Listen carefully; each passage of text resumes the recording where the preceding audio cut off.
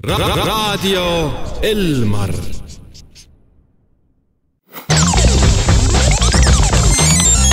Elmar üllatab.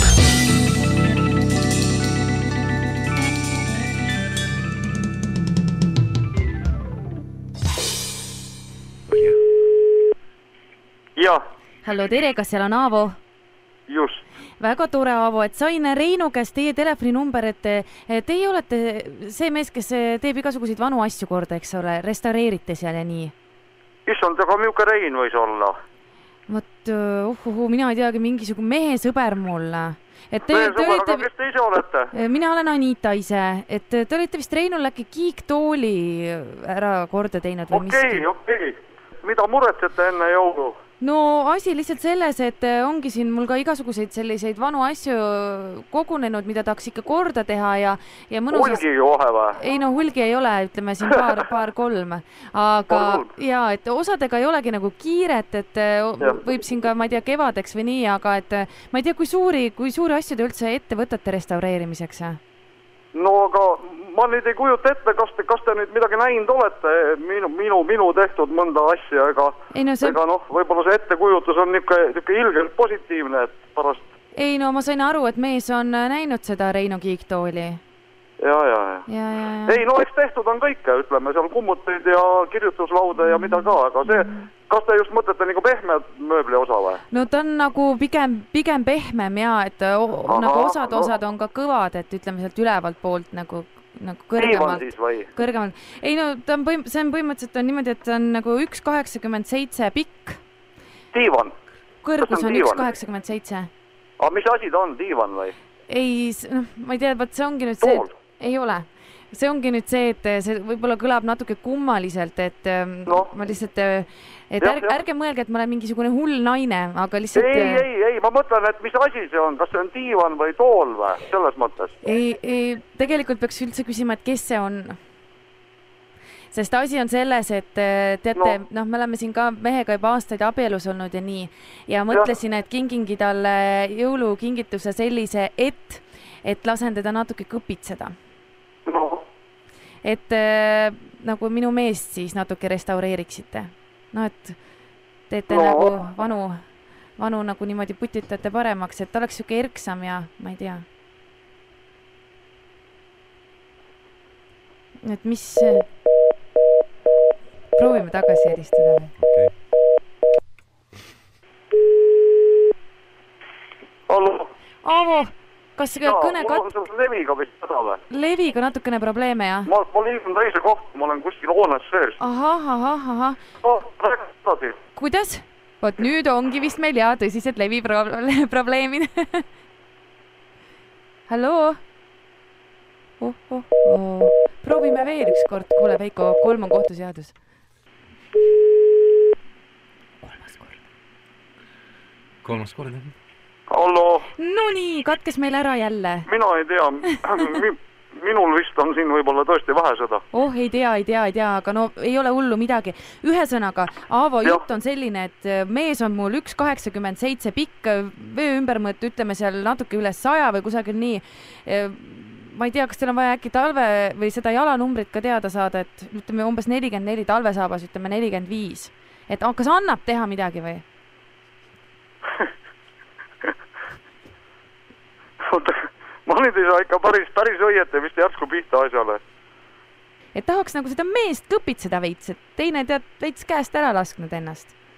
jõulud siin Aga- tulevad, ilusam laua taga istuda aga, aga, aga te, te ikka tunnete mind vist või, või, või kes te olete, ma ei saa päris, päris aru. mina olen Anita, nii, keskmine nimi on Mari-Liis. ja, ja, ja Rein andis eh, mulle teada, et teie olete eh, üks kuldsete kätega mees ja annate vanadele asjadele eh, uue elu, mõtlesin, et äkki annate ka nagu nii-öelda noh, vanematele inimestele niimoodi aga, natuke aga te pole vanem, vanem inimene, mulle tundub. ei, mina ei ole ja mul mees on siin paarkümmend aastat vanem. ei ole. on, on, on, on. on jah, et äh, ma ei tea, kas saame hakkama kuidagi, lihvime teda või noh, selles suhtes ka, kui te küsisite, et pehmem või, või mis see on, et pea on ikka kõvem. et keha on vähe pehmem. aga aga, aga tähendab, tähendab, teie seda Reinu ise ei tea või? absoluutselt mitte, Aavo. Rein lihtsalt saatis, saatis meile kirja ja, ja see tänu, tänu Reinule ma praegu helistan. Rein saatis kirja või mm? -hmm. järjest segasemaks läheb või? Läheb küll. aga mis te praegu mõtlete? no ma olen praegu ikka päris niimoodi, ma panin jalad kuskile kõrgele seisma panite jalad kusagile kõrgele seisma. kas teate, mis Aavo, mul on, ma tean nii palju veel, et lisaks sellele, et teil on kuldsed käed ja ja teete kõike, ma ei tea, kui hästi, siis teil on täpselt samal päeval sünnipäev kui meil. Aavo. kes seal on neid tegelikult? teate, et esimesel detsembril sai Elmar viisteist, siis kui teil oli ka tähtis päev? Nii, midagi oli äkki? teate sellist raadiojaama? jaa. Aavo... mida te nüüd seal kokku keerasite, rääkige nüüd no. ai pagan. no Aavo, see on Elmar üllatab kõne siitpoolt või on jälle tünga? No eks ta natukene tüng ole või üllatus või kuidas seda no, selline armas üllatuskõne, mille Rein on teile tellinud, ta kirjutas meile elmar.elmar.ee ja Aavo, lõpuks ometi meil õnnestus teid kätte saada.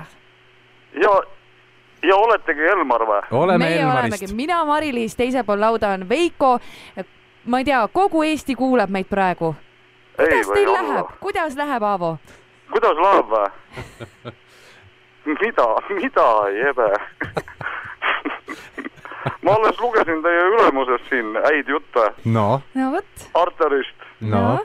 iga, igati ondlik ülemus teil. no, no muidugi on, on, ega me ei kurdagi, jah. Te ei kurda või? ei kurda. absoluutselt. vot see on, see on, see on tänapäeval niisugune haruldus, kui, kui alamad ülemuse üle ei kurda. vot mm -hmm. meil on vedanud selles suhtes ja, ja aga teil on vedanud, ma ei tea, kes see Rein teil, teil on? no on küll Rein on küll Rein, aitäh, Rein. on ta teil su sugulane või sõber või? tegelikult sugulane, aga, aga, aga, aga sõpru on ka Rein no,. kus kandi Rein oli? me ei tea, me teame, et ta tegi, et teie tegite tema kiiktooli korda. aa, no siis on ikka, siis on sugulane Rein ja no,. Teil on vedanud, et teil sellised sugulased on, kui meil on ülemusega vedanud. no kokku, kokkuvõttes ajab otsad kokku aga tegelikult päris lõbus ju, Aavo. No mina nüüd mina nüüd ikka algul ikka võtsin tummaks täitsa tõsiselt, ma kujutasin ette, et kellegi, kellelegi, kellelgi on ikka mingi, mingisugune probleem minu vastu. okei, okei, aga no, tore. raadio Elmar